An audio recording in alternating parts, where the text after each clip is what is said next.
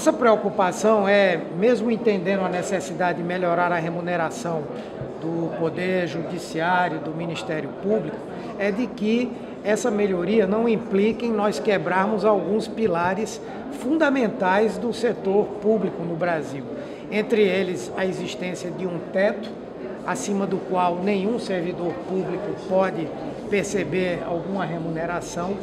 bem como a garantia do subsídio como é, a forma de recebimento da remuneração sem qualquer penduricalho, como existia anteriormente, por meio de gratificações, abonos, enfim.